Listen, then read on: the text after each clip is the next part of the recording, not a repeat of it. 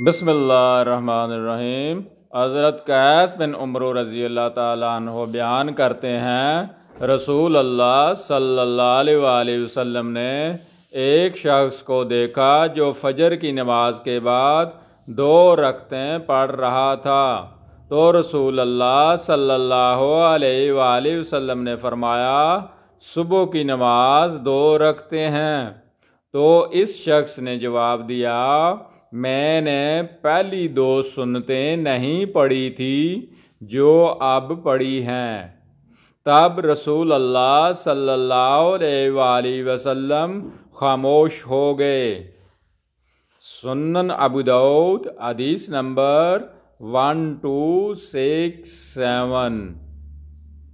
Channel को subscribe कर दें ताकि आप तक नबी करीम सल्लल्लाहु अलैहि वसल्लम की प्यारी प्यारी हदीसें फ़ौर पहुँच सकें।